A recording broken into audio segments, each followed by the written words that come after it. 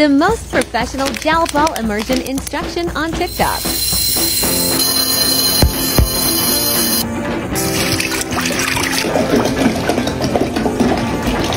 Waiting quickly for one or two hours to let it grow.